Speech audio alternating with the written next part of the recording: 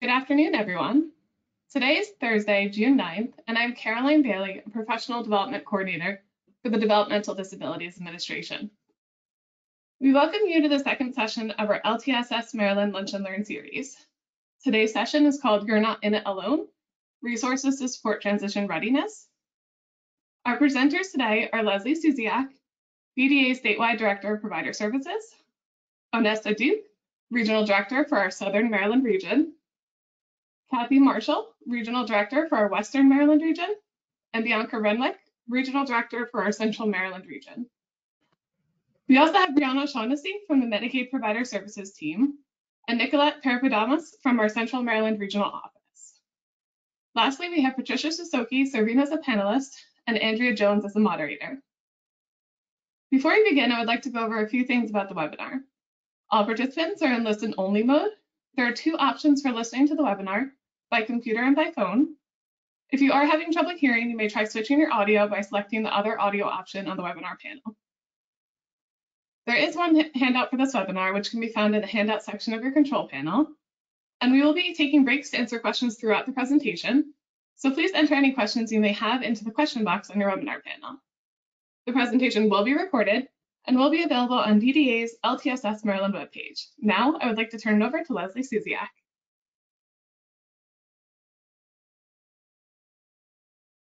Good morning, everyone. Thank you so much for being here with us today. I'm looking forward to another great session.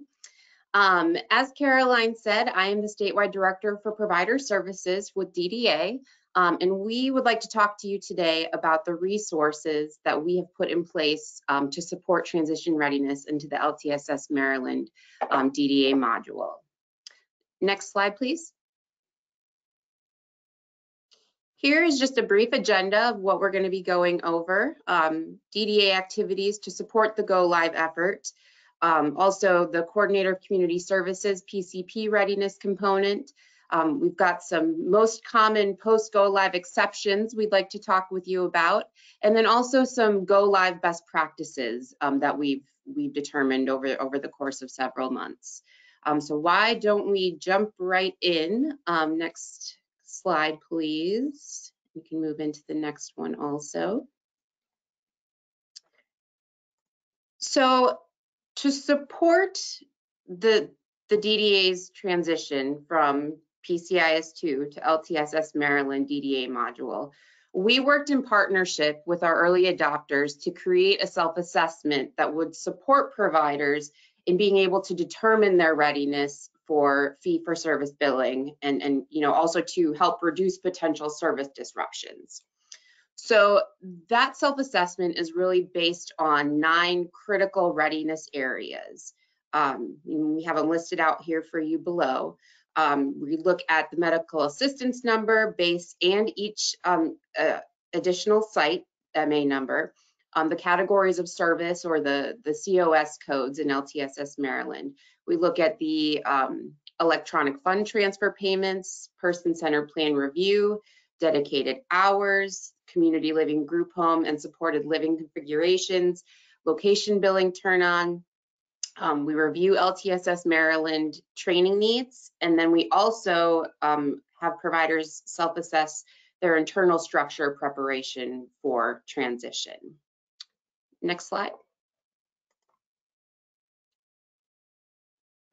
So that's a lot that I, I just threw at you. Um, so we're gonna break that down a little bit more. Um, as part of this effort to help providers get ready, we developed work stream groups to look at various areas of readiness. And, and for today's purposes, we're gonna look at two main categories. So we have our provider readiness work stream group, and then we also have a PCP um, readiness group as well. Um, First, we're going to talk about the provider readiness work stream. So you can see on this slide here what that or who that group consists of. So from HQ DDA offices, um, it has we have our L DDA LTSS Maryland program manager, um, myself, the statewide director of provider services. Then we also have regional office representatives, so CCS, CCS support services, provider services, and then um, deputy directors. In addition to that, we work very, very closely with Medicaid Provider Services or MPS. So on our group, we also have their director, um, and then their health group of health policy analysts. So we can all work in tandem as, as we look at items.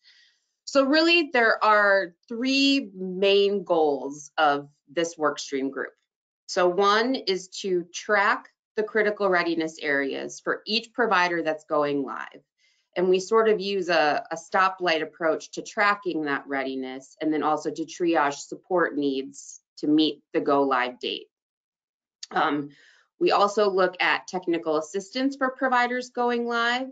And then lastly, um, as part of that, that that coordination, you know, we have internal um, Maryland Department of Health coordination to support the go live by tracking and trending any technical assistance issue that may arise. Um, and that would be Tolu that handles a, a, a, the good portion of that, and then the, the program manager. And then also we liaise with LTSS Maryland contracted developer to discuss any development that might be needed uh, moving forward. Next slide, please. So breaking down a little bit more of what we do in this work group. So we have this wonderful tracker that we use and we review a variety of things. So again, going back to those key critical readiness items that we analyze and track as part of this group. So we look at each provider that go, that's going live, we look at their MA site numbers, we look at the addresses to make sure those are correct. We look at site configurations for all community living group homes. Additionally, we do the same thing for site locations. So any other site MA that a provider might have. We review all of the billing codes to make sure those are correct. And then we also look at the other billing. So when, or when I say we look at the billing codes that are attached, we're talking about the services that are being provided. So if it's DayHab, making sure the correct codes are attached. If it's a community living group home, making sure the correct um, billing codes are attached.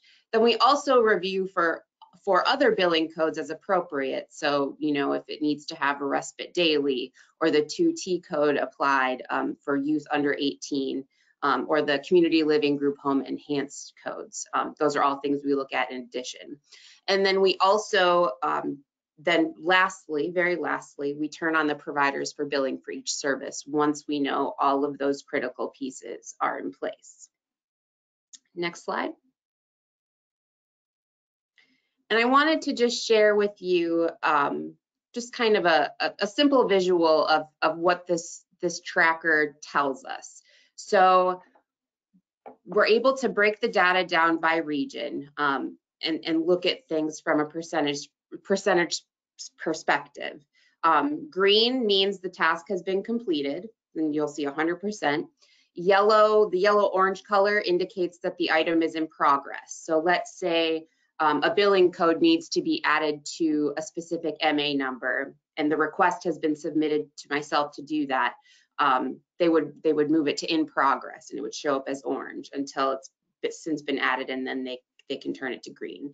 And then red lets us know the item is in jeopardy of not being completed within the specified timeline that we have we have put forward in order to get everything up and running um, by the time the go live date approaches.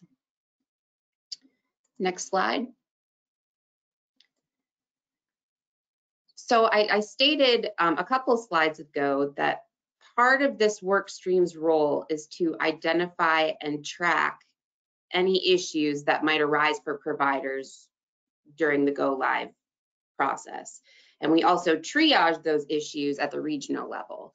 So our goal is to really work hand in hand with the providers that are going live if they run into any concerns so we can resolve them as quickly and efficiently as possible.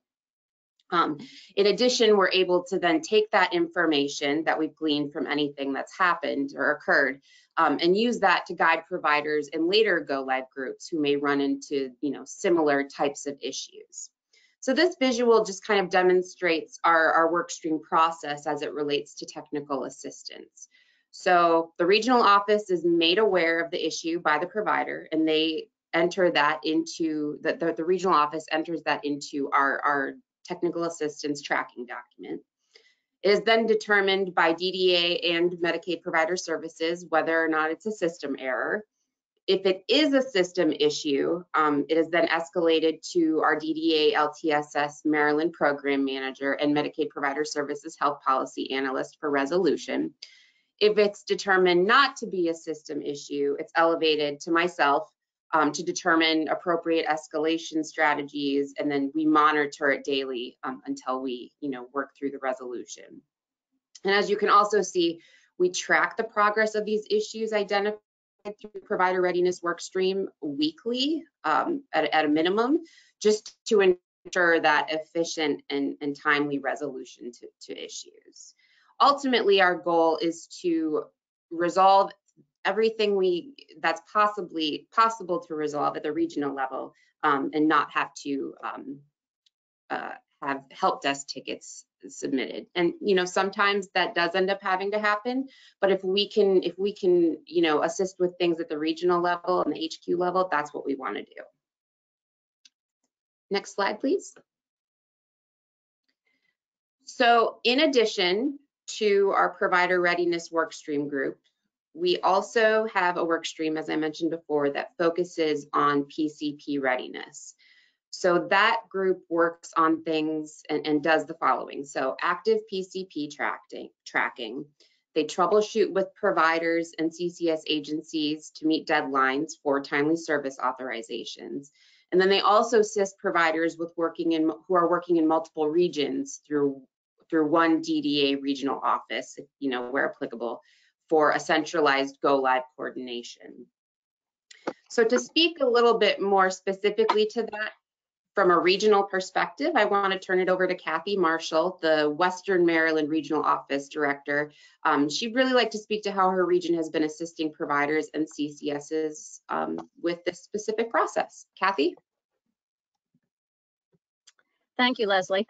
Good afternoon, everyone. That was a lot of information and a lot of slides. So let's talk about what that really looks like on the regional office level.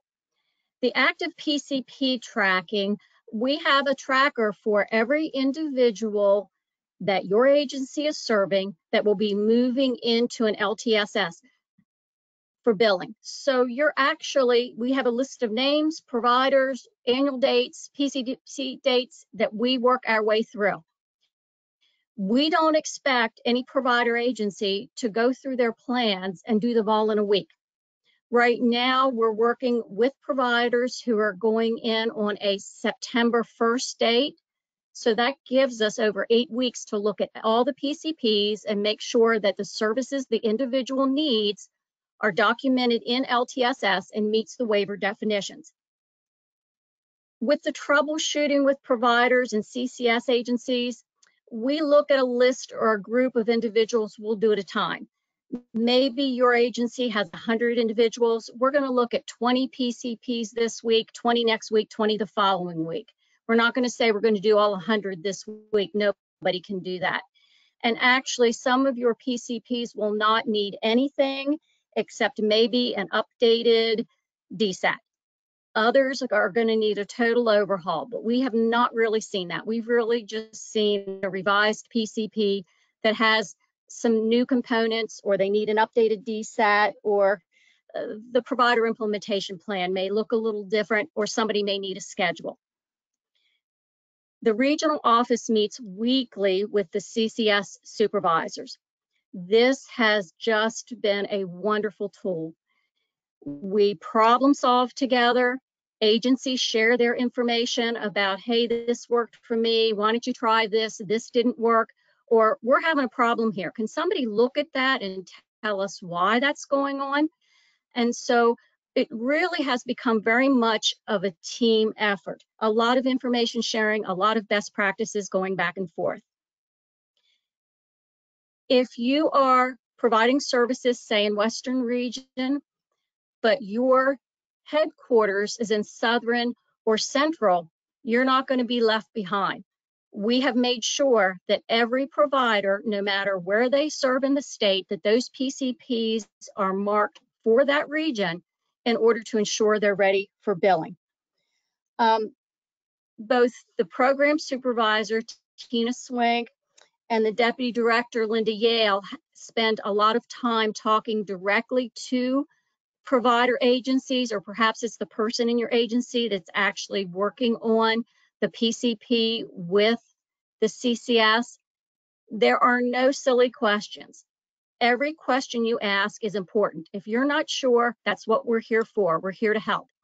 Before you even get started, the minute that you say, hey, I think I want to move into LTSS, we look at that readiness survey. We go through that readiness survey with you and we answer any questions we have, but it doesn't stop there. There are periodic check-ins with the providers as we're moving forth. Uh, we had one provider agency who decided that one of the services they wanted to go live, we needed to make that a month later because they didn't feel like their documentation by staff was strong enough. We have a lot of flexibility to meet you where you are and to help you move forward. And then once you're turned on for live billing in LTSS, it doesn't stop there.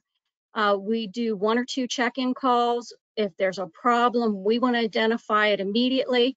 We had one uh, billing issue and it was actually resolved in less than 72 hours, very quickly. So if you're seeing something, you don't feel good about something, something just isn't making sense, reach out to us because this has become a huge team effort. And for Western, we're at over a third of the individuals who receive services in Western region being billed in LTSS. After our September groups and the groups that are going live July 1, we're going to be close to 50%. So we really do have some experience. We've all had the hiccups and we have a lot of experiences to share. So just don't forget, reach out to us. Thank you very much, Kathy. Appreciate it. Okay, next slide, that. please. So as with the provider readiness tracker visual that I shared a few slides ago, we wanted to share an example of what this looks like from a PCP tracking perspective um, and, and how we are able to track components of the PCPs and their progress across the regions. So this just shows you an example of that targeted technical assistance and it, it you know, really allows us to prioritize our actions. Next slide, please. So I'm, I'm, I'm going to throw a little bit more information at you, and then we're going to take a breather to see if there are any questions. So um, in addition to everything we've just talked about, um, we also really, the, the, the regional offices have offered a great deal of support, you know, across the board as to our Go Live providers. Um, and you heard some of the, the great things that Western has been doing. Um, so each regional office has been providing technical support weekly and as needed to the providers that are going live. And they really work to set up a, you know, kind of a cadence of meetings and communications that are set in partnership with those providers that are, are going live. And, and the, the purpose of those is to support completion of that self-assessment that we talked about at the beginning of the webinar assist with determining the go live scope and timeline. And when I say the go live scope, I mean, you know, maybe a provider isn't quite ready to fully jump into LTSS Maryland DDA module with both feet, but maybe they want to, you know, dip a toe or two in the water. So maybe they only want to go live with, you know, a few of their community living group home sites, or they only want to do um, their day hab services. So really figuring out what that would look like. And then also if they want to split their go live process between, you know, two different months. So maybe they want to do those those community living group home sites I mentioned on July 1st, and then they want to add in their day hab um, services on August 1st. So really figuring that out. And then also to plan and troubleshoot issues, you know, as they arise with the executive teams for the providers.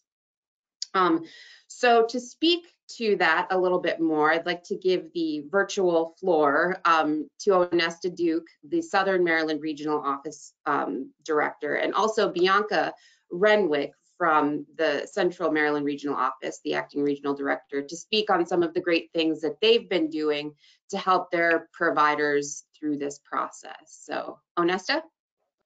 Thank you, Leslie. Good afternoon, everyone. So Our regional office has been working diligently with our providers and CCS agencies to ensure a timely and successful transition into LTSS for our, the agencies that we're working with. So our preparation started with scoping providers' readiness by engaging them in discussions pertaining to the nine critical areas that were mentioned earlier by Leslie. So it was important for us to gauge where providers were as far as having all of their base and individual site MA numbers, their billing codes, and especially um, checking to see where they were as far, as far as tracking and monitoring PCPs. We were also discussing their internal structure and their preparation for transitioning into LTSS.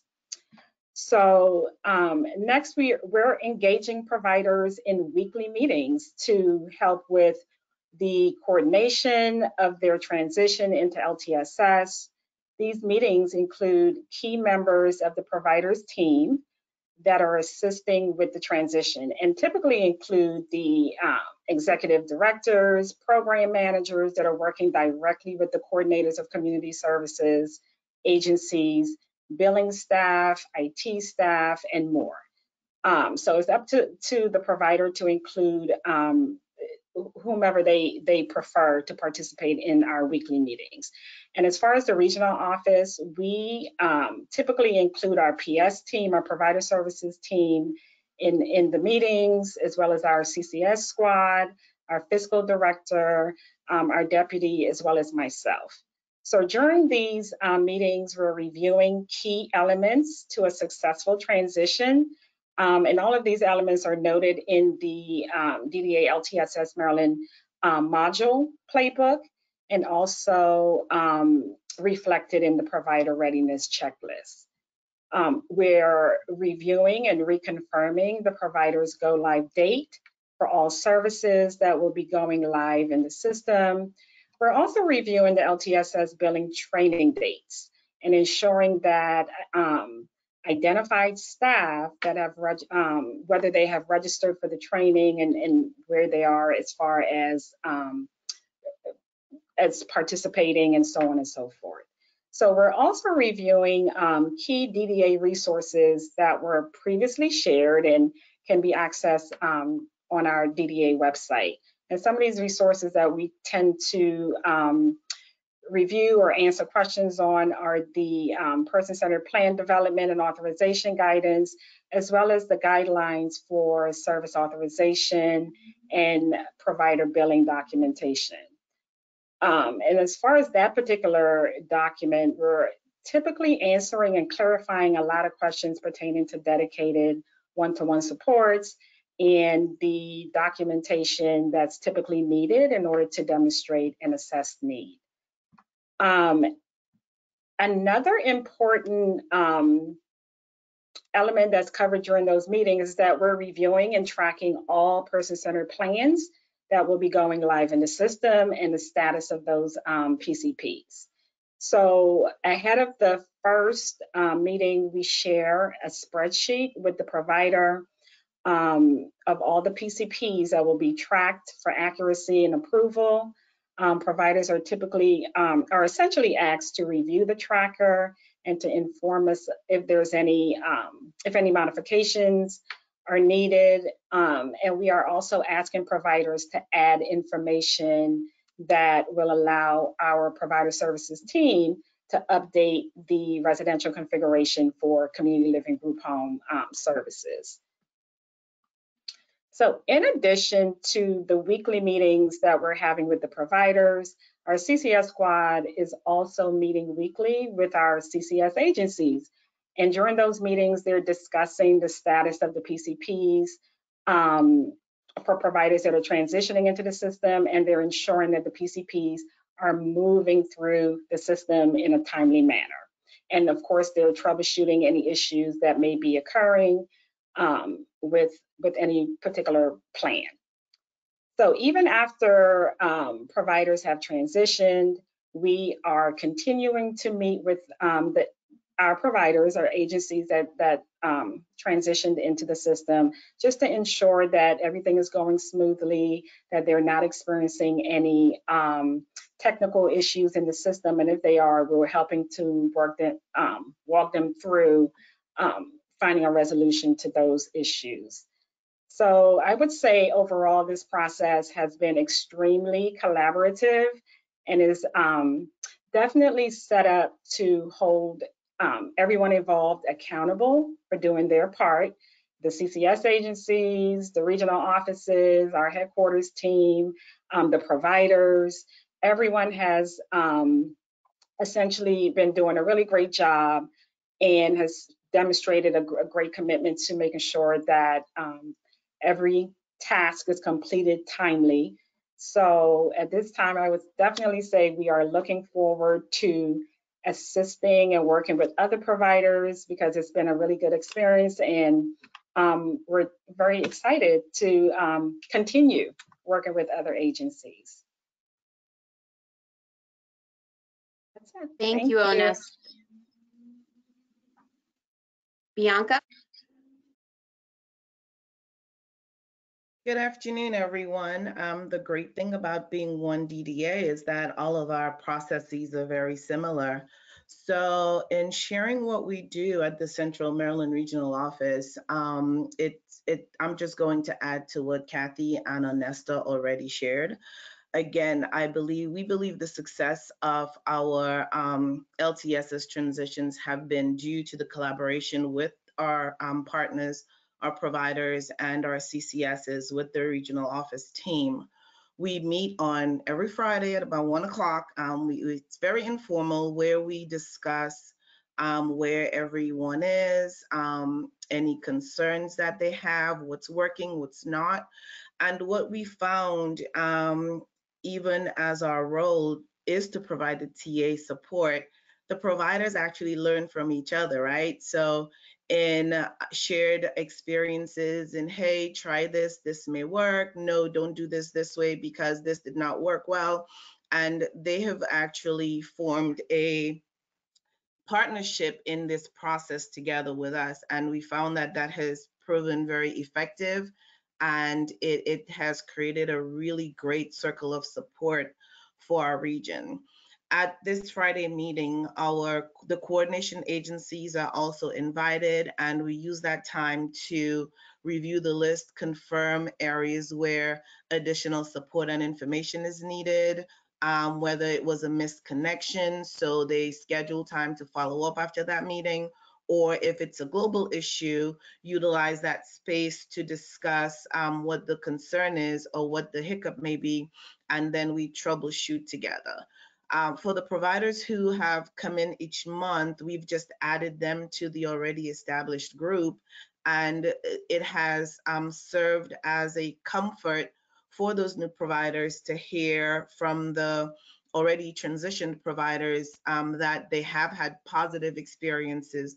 So it helps alleviate some of the concerns and anxiety that the providers have had going into this new system. So that has worked very well for us. Um, at the region, our team works very closely and communicate internally, um, as Onesta said, to identify those plans that we're that we have to get ready to go. We work closely with the CCSs and the providers. What we have done instead of um, assigning particular staff to um, providers, we're utilizing our um, supervisors as that contact and they triage um, information to their team. What that has meant is our CCS entities and our provider entities do not necessarily have to remember which reviewer is reviewing which plan by streamlining one point person for um, each of the areas. It has meant um, a ability to faster respond to any concerns and an ability to resolve any concerns at a faster clip. Our CCS squad has been really awesome and instrumental in working with the CCSs and providers to identify any glitches within um, moving plans forward and just um, troubleshooting any concerns that we've had. And overall billing has been successful and there have been very few incidents of um, providers not being able to, to be compensated. So for the Central Maryland region, it's been collaboration, clear communication, um, our weekly meetings, and as well as the ongoing weekly meetings, um, independent of the providers with the CCSs for the, with the Central Maryland team to provide that level of technical support. Some of the information that we've heard from our teams as to what has worked is the providers and the CCSs who um, meet with us on Friday have really um, enjoyed the level of collaboration and, and they've all expressed that they feel that each entity understands the role of the other person a little better because they, we're working in such such specific areas and and in such close knit, knit quarters to get those um, transitions happen. And so what we're seeing as a greater um, a greater effect is overall the quality of the PCPs that are coming into the region outside of the plans that are transitioning to LTSS. The quality of the plans and the completeness of the plans are better. Um, moving forward, we will continue as we talk about readiness for the providers who are not yet transitioning into LTSS. We will continue to work with our provider agencies to assess readiness. As you guys know, we have the most amount, the most number of people, the most number of providers, and we will um, continue to schedule ongoing um, check-ins and follow-ups with our providers who may not be ready but want to be ready and are interested in um, being a part of this pilot group. Group we had our um, provider meeting this morning and a few providers reached out. Um, so again, the word is getting out that this is, is successful and it has been a really positive experience and we will continue to meet with providers, assess the readiness and share what has worked for the other providers. One of the major recommendations and one of the, the biggest successes that we saw was one of our providers worked about six months out with the region uh, in preparation for this go live date when we weren't they weren't even sure when we had a go live date. Um, they had started preparing all of their pcps in anticipation of this go live date and it made for a seamless transition of of everyone in their agency. So we will work to continue to encourage the teams to align um, the plans in not just with our assessed need, but align the plans for LTSS readiness um, for services and in, in the scope that meet the individual needs. So that will reduce the number of clarifications. It will reduce the number of um, revisions that need to be made. And as we move forward, we will continue to provide support from the Central Maryland team to all of our providers and stakeholders. Back to you, Leslie. Thank you very much, Onesta and Bianca. Um, if there if there's one thing that you take away from today, it, it should be that we are absolutely here to support everyone in this transition and that we DDA we we want providers to be successful. So that is why we are putting we have put all of these things in place. We continue to assess our processes because we, we want people to be comfortable. We want you to feel confident in, in this transition. So please, please keep that in mind and remember that as, as, as we move forward. So next slide, please. So one other thing I wanted to discuss briefly before we um, pause for some questions. Um, in January of 2022, the, the previous LTSS Maryland technical group work group was, was reconstituted to a primary work group that focuses on LTSS Maryland operations and implementation. And so that that relaunch um, of, of the LTSS Maryland work group was kind of the key feedback loop that was needed for continuous learning and, and system process developments. So this just gives you kind of a rundown of the membership of that group. It's co-chaired by um, the Director of Administrative Services with DDA um, and Deputy Director of LTSS Maryland Program Office, Office of Medic Medicaid Provider Services. And the membership um, is comprised of a range of stakeholders, key stakeholders per region and service type. We wanted to have a good, a good cross section. So there are 12 providers, which includes, um, includes EAG repres representatives, the early adopter group, three CCS representative agencies, um, the CEO of MACS, um, the ARC, and then also SDAN. So um, this has been really instrumental in helping us, you know, move forward in, in this transition as well. Um, and members submit topics for discussion. The state team begins the discussion. Um, we meet, the, the group meets bi-weekly. So that has also been a very uh, positive addition to the, the, our transition process. Okay, so next slide. I'm going to check in with Andrea and see if we have any questions thus far. Hello, yes. Um, this one is, excuse me, for Onesta. Um, in a recent meeting through MACS Peer Network Group, I believe they stated that services being met with exceptions due to inactive or incorrect PCPs would not be able to be manually billed once the transition into LTSS billing is complete. Is this true? Is there any way for providers to be able to be billed? Oh, sorry. Is there any way they, providers will be able to be paid if a PCP is causing issues in payment or will services need to be suspended? Thank you for that question. So essentially, um, services do not need to be suspended. If a provider is experiencing um, challenges in the system as far as receiving um, billing exceptions, they should definitely reach out to the regional office and notify us of those challenges that they're experiencing and what the specific um, billing exception is. And we will work to troubleshoot that issue in an expedited manner.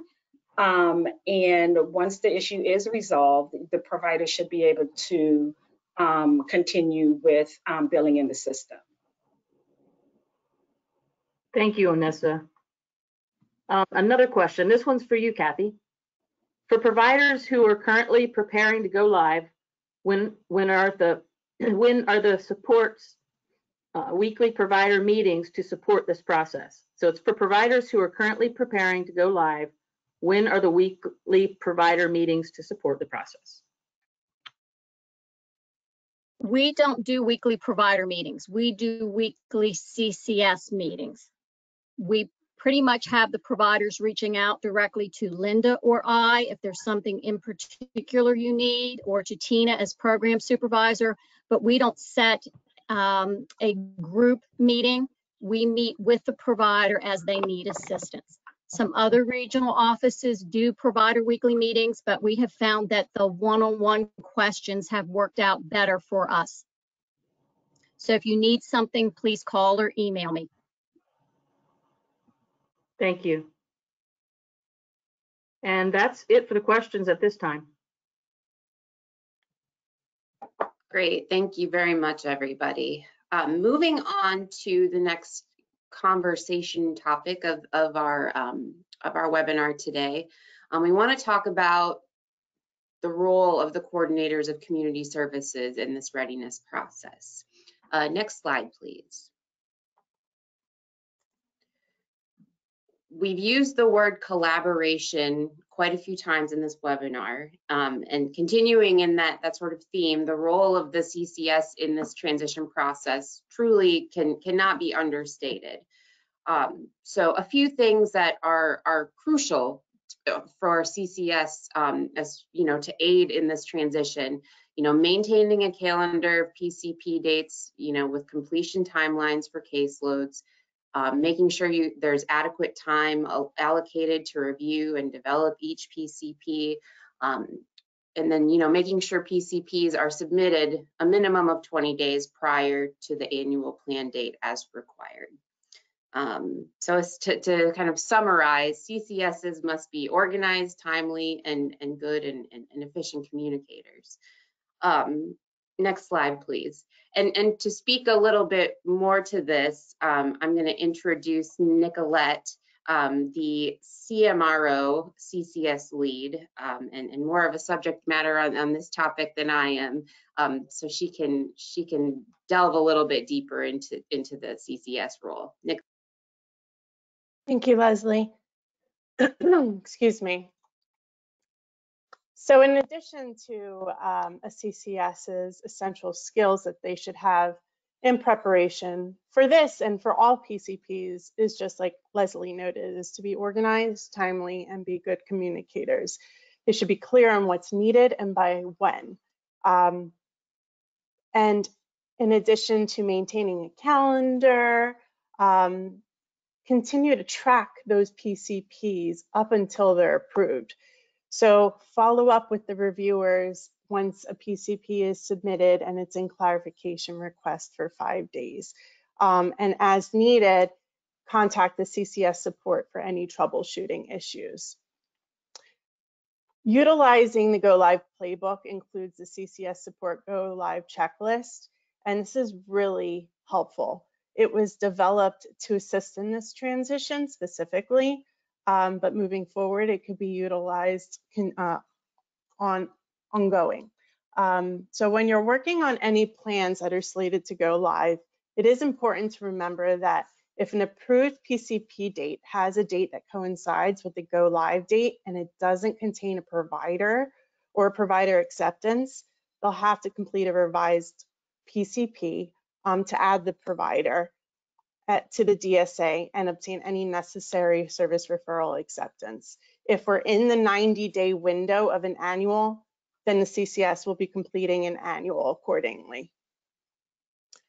Our goal is to minimize clarification requests, provider billing errors, and service interruptions. Remember, all services require pre-authorization, so timely submission and approval is essential. Authorization is provided through an approved and current PCP, and the readiness checklist was developed to assist in this transition. Some essential tasks uh, include verifying that the participant is enrolled in the correct waiver. This could be found under the current enrollment section of a participant's profile, and it should match the program type of a PCP. Demographics are correct, such as their address, their date of birth, spelling of a person's name.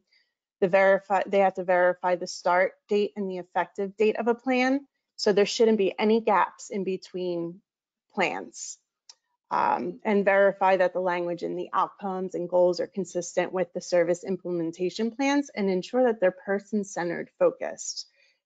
Any risks that are identified in the HRST, court orders, behavioral plans, nursing care plans are all in indicated in the person-centered plan. In addition to the service referrals, CCS should ensure that the calculations are entered correctly for all months They'll utilize the DSAT and work closely with the provider on this.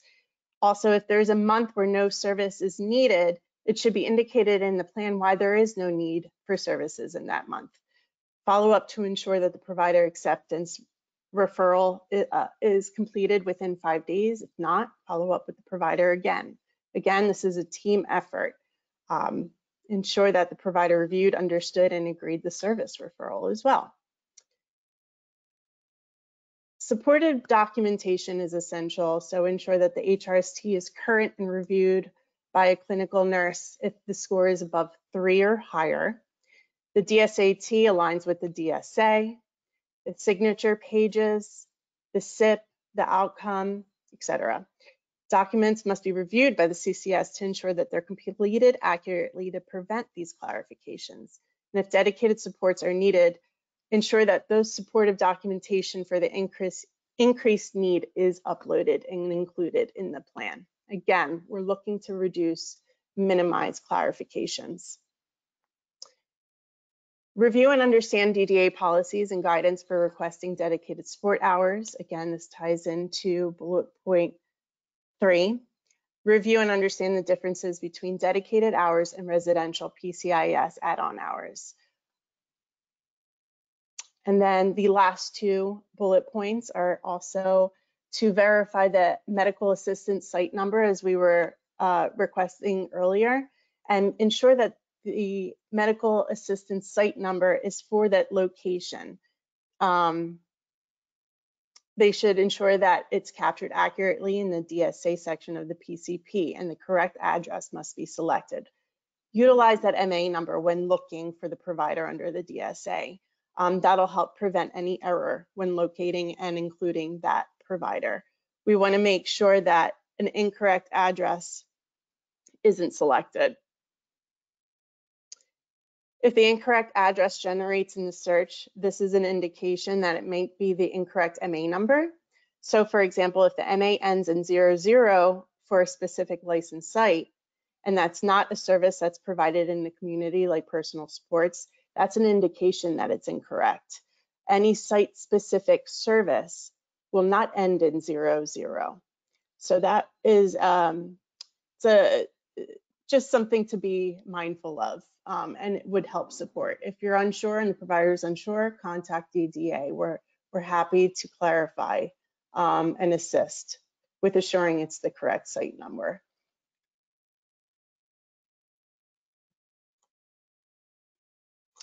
And of course, again, after CCS works with their supervisor and the provider as applicable, contact your region CCS support squad to assist with any of the aforementioned.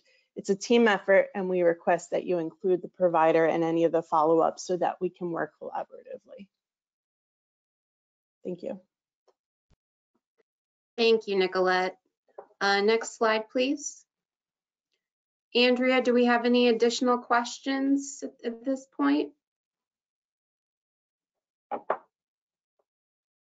Sorry, I was muted. Um, we do. Um, Nicolette, I think this one is for you. When completing a PCP, which has respite services, how are the services addressed with flexibility? For example, if a client does not utilize the respite in the month or date on the PCP, but chooses a different date, will the services still be available or billable?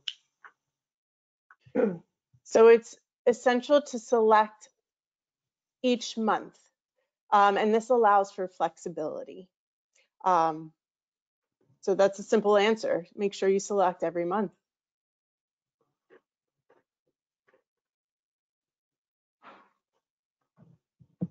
Okay. That is the only question right now.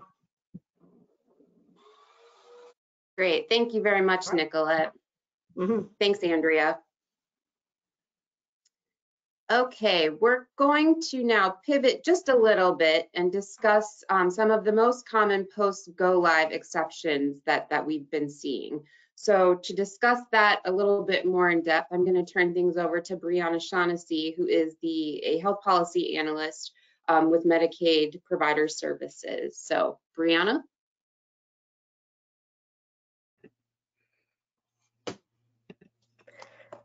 Hi, good afternoon, everyone. My name is Brianna Shaughnessy. Thank you for the introduction.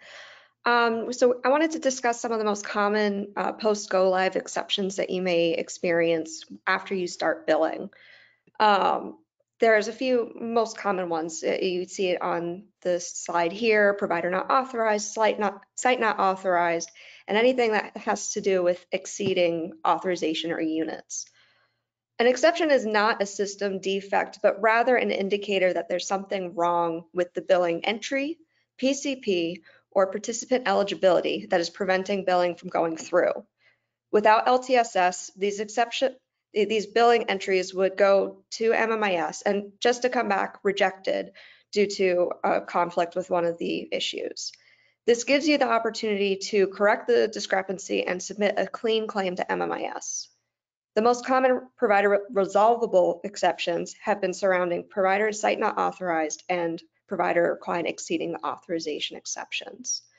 Next slide, please.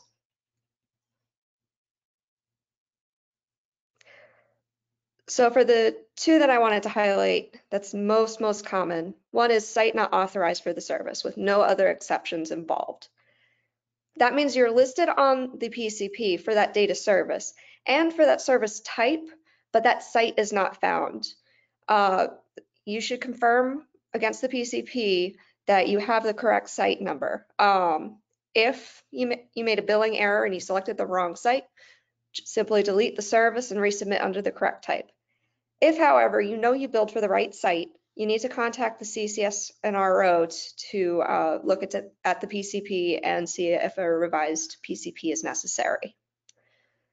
Uh, Another exception combination is provider not authorized and site not authorized. That means you're not listed on the PCP that's active at this time. So you should confirm um, which, if you're supposed to be billing at this time. It could be that the PCP for that uh, service, it was end dated, um, no hours were listed in that month, or you're billing for the wrong service type. Um, again, if you believe your billing entries are absolutely correct, and that, please contact the CCS for clarification and and assistance in revising the PCP if indicated. Uh, next slide, please. Now I want to talk about some general exception resolution.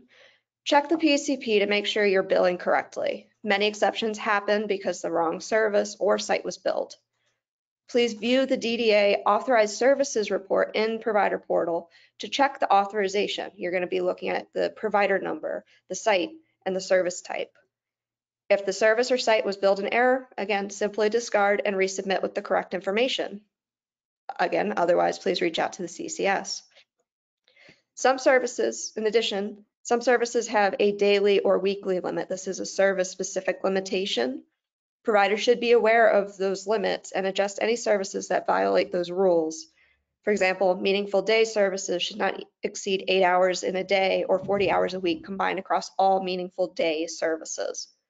If you come across that exception, just please edit or discard the services according to that authorization.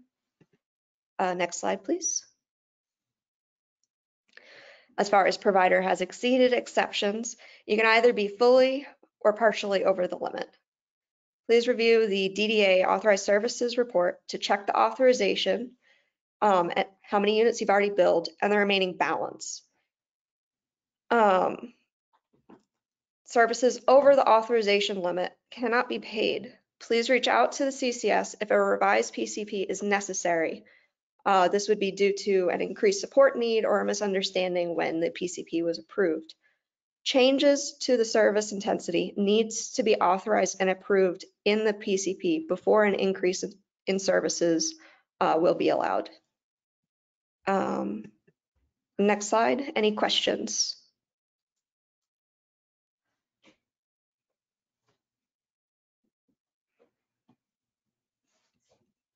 There are no questions showing up right now.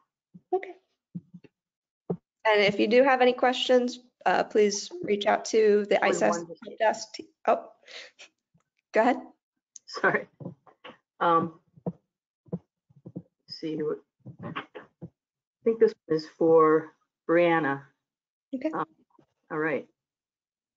We have found that it is difficult to get an easy list of the LTSS exceptions without comparing several different reports.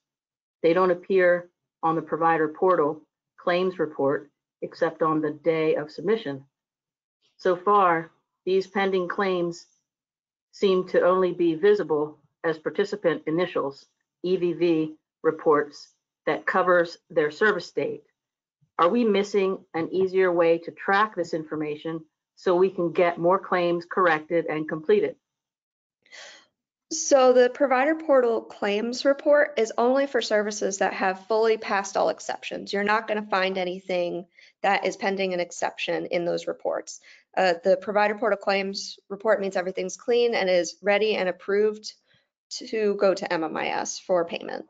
Um, meanwhile, the DDA, DDA services rendered report will pull all DDA services, whether they're EVV or non-EVV, and you'll be able to see all the services that you've billed regardless of their claim status, and you'll be able to find the exceptions that way. The EVV services rendered report will only pull personal supports and personal supports enhanced. And it's regardless of, it's, so basically, if you want to pull everything, you need to do, use the DDA services rendered report. Thank you, Brianna. Any other questions? Uh, yes, there is one coming in now. Okay. Um, oh, the same person, uh, who had the question had commented, currently we only have personal supports enabled. Okay. Um, yeah, so it should be in that report. I do believe there is a bug that's being investigated on one report. That might be the one. Um, and that's being investigated right now, but for it should, but those services should still appear on the DDA EVV services rendered report. Make sure you have all the default settings on. Um, make sure you're searching for all the services. And if you have any issues and you're still not pulling somebody up, please email my team. Um, it's the ISAS help desk uh, email.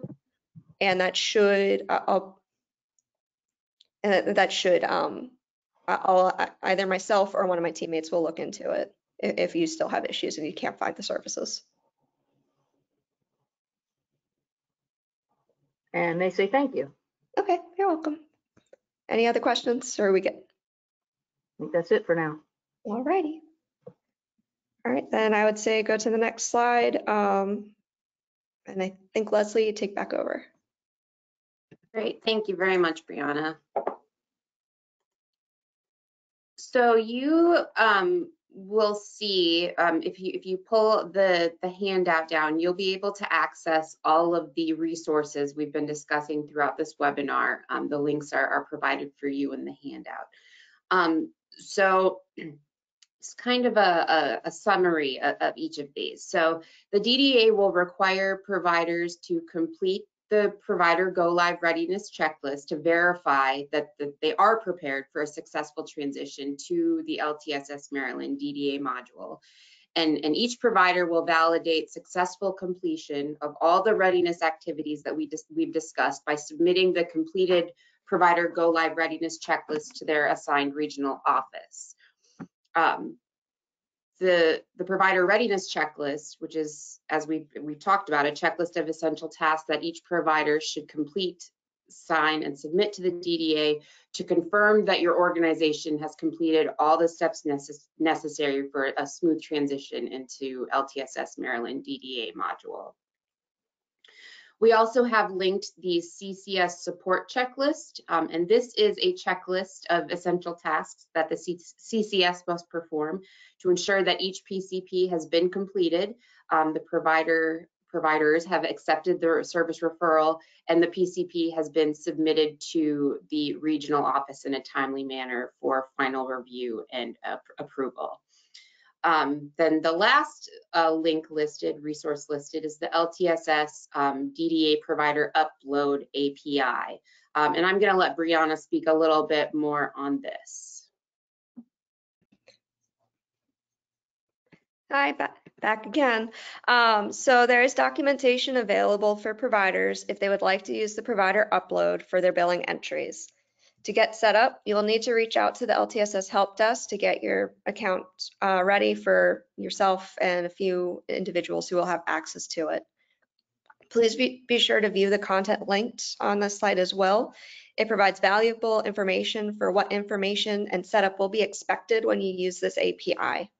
It also provides um, information on how to access a test site for you to practice the upload and verify that that information um, is successfully uploadable. And that's all I have on that one. Thanks, Brianna. And, and I, I forgot to mention as well that the top of the list of the resources is the LTSS DDA module playbook, which is a, a very, very valuable resource for, for all things um, LTSS Maryland.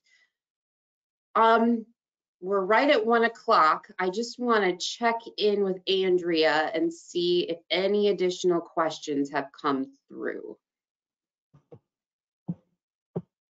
Right now, we do not have any additional questions. Okay.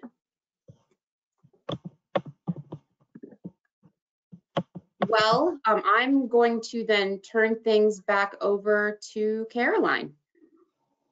Leslie, and thank you to all of our presenters and panelists today for sharing this important information.